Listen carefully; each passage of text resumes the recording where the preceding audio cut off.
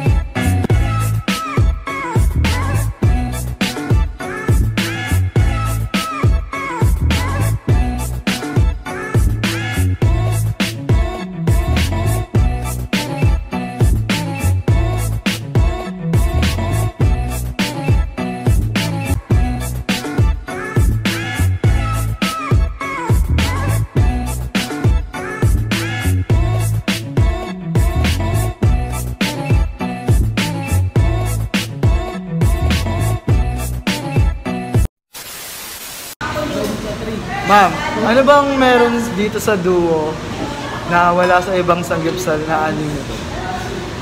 As you can see, yung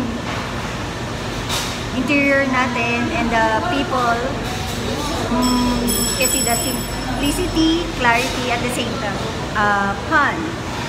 Um, ano ba yung yung parang interesting dito sa store nyo para balik-balikan nila? Ganun.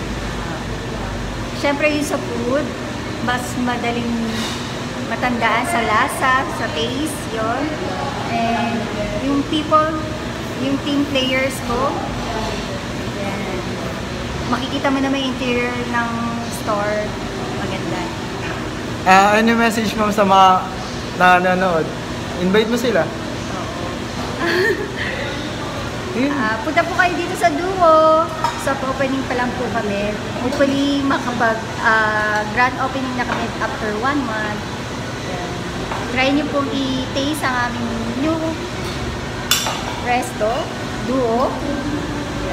Let's do it! Located? Located? Located saan?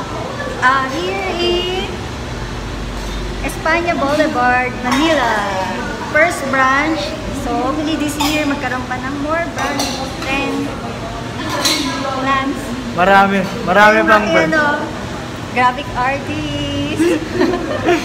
Yan ma'am, thank you ma'am. Getting. Thanks some second Not sponsored to ah, not sponsored. MYOD, ano ka? Tama? MYOD, OB. MYOD, thank you. Sa uniform namin. Ayan, uniform. See? Ganda, oh. Buồn